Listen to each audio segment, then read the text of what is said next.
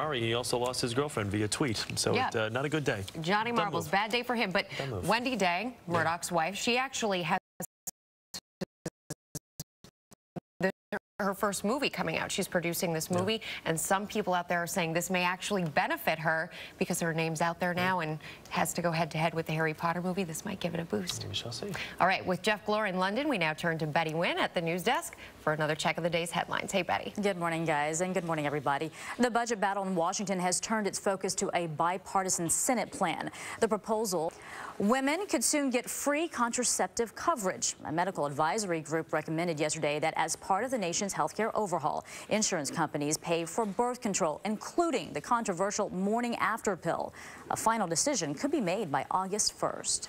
The Senate holds its first hearing this morning on a bill to overturn the 1996 Defense of Marriage law.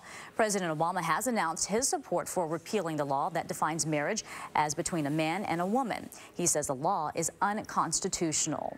And 75 former pro football players are said to be suing the NFL in a brain injury lawsuit, according to the symptoms.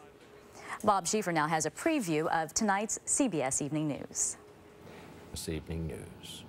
Let's get a check of the weather outside. Marysol Castro is here with a look at that and the heat wave. The heat, that's right, Betty. Good morning to you. Good morning, everyone. Along with the heat comes the risk of severe weather. And just ask folks in the upper Midwest because they're going to see it today. Not a whole lot of rain, just about an inch. But Minneapolis and Duluth, you're going to see a pop-up shower, including hail, gusty winds that could top 75 miles per hour.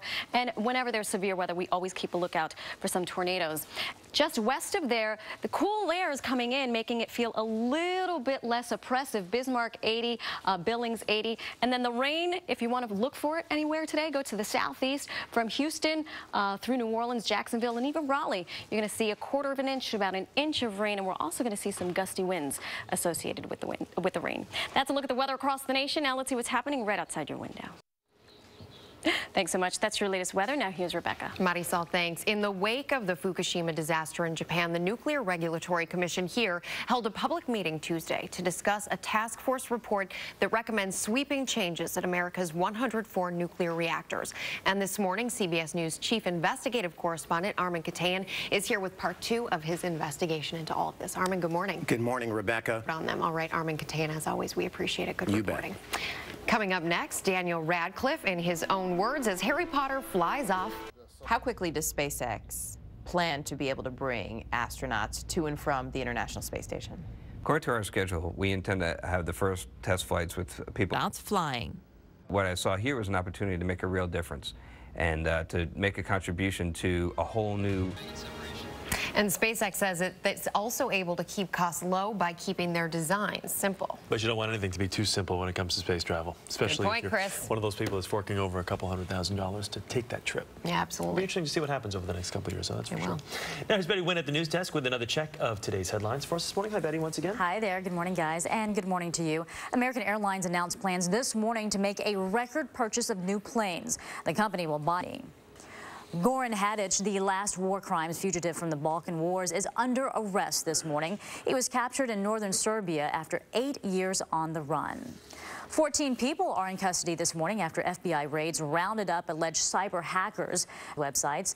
The group said the attacks were in retaliation for the company's cutting off online donations to WikiLeaks after the website published thousands of secret U.S. diplomatic reports.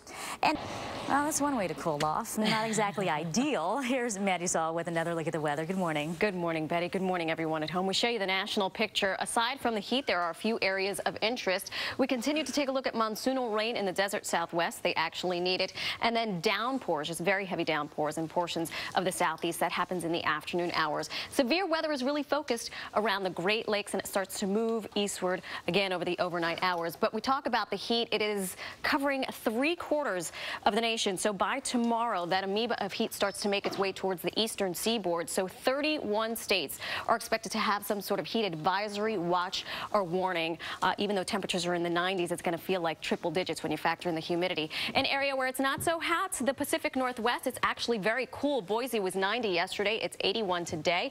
The winds will be light, 10 to 20 miles per hour coming off the Pacific, making things feel somewhat pleasant. That's a look at the weather across the nation. Now let's see what's happening outside your window. Thanks so much. That's your latest weather. Now over to Rebecca. Mari, thanks. I actually have a question for you. You have two sons. Are you getting them ready for school yet? Yes, and they get hand-me-downs. I'm sorry. They get hand-me-downs. School bags, lunch boxes, all of it. Well, it's good, Yeah. but not so good for the retailers. The new school year may be weeks away for kids, but the retailers are already getting started. Major store chains are promoting back-to-school bargains even earlier than usual this year, as CBS News contributor Priya David Clemens reports.